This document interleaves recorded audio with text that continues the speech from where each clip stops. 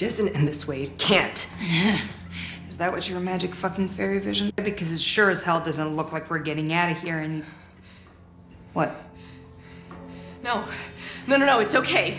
Something happens.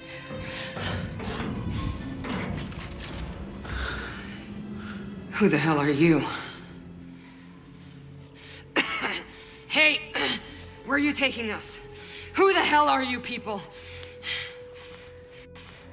All your questions will be answered when we reach Dr. Skurlock. it's too late. We're not making it to any doctor. Stand down, or your people will die! You'll fucking die with them! I'm not threatening them, asshole! I'm trying to save them!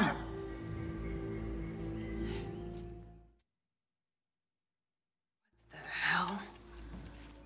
What exactly is in this? Please, please, uh, do, do not fear.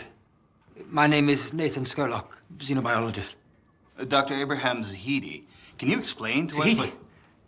Oh my, what an unexpected honor. I was a follower of your father's work. Um, at least, um, as long as was possible.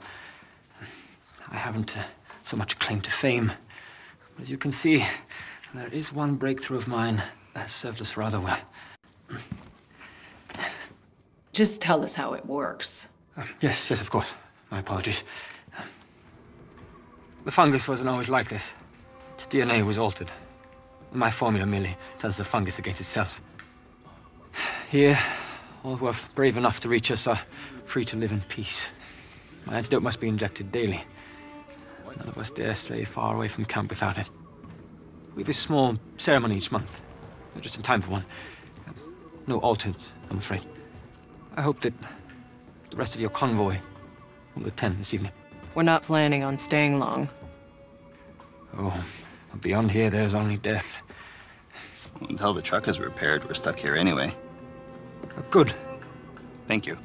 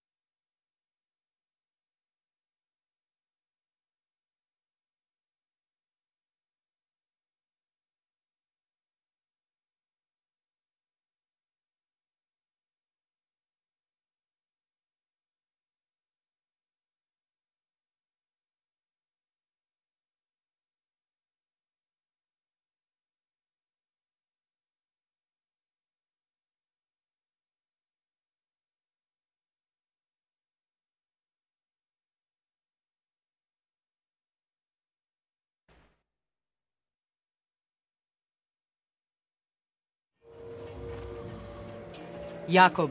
Mm. Look what I found in the forest. This was Cuthbert's. We've been here before. Well, shit. I thought things looked familiar. I thought it was Skurlock's drugs. But unless you can pull a spare oil pump from your ass, we're not going very far. We left a truck here before.